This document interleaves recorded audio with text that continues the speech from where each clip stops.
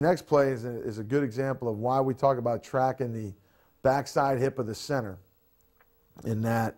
uh, you know, the, the running back, the dive back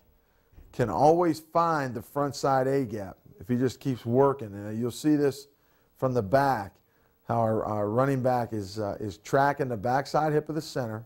on his path. His path is taking him to the backside hip of the center, and he just kind of falls right into the front side A gap